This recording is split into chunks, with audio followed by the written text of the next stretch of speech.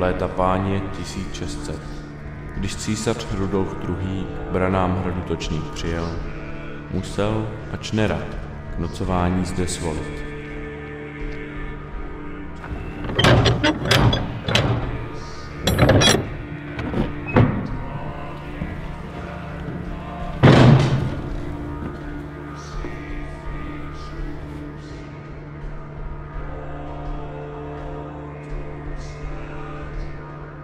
Nebrat Točník, opředen mnoha tajemstvím jest, kázal císař kněžím provést rituály magické, jež měli zlo domělé z hradních zdí vypudit. Však ani tak klidného spánku nemaje. Tehdy zahalilo oční nebesa světlo jasné, jež čas a prostor pokroutilo. Od doby té se nad hradem zjevuje. Dle zpráv sídlo to poté ožije.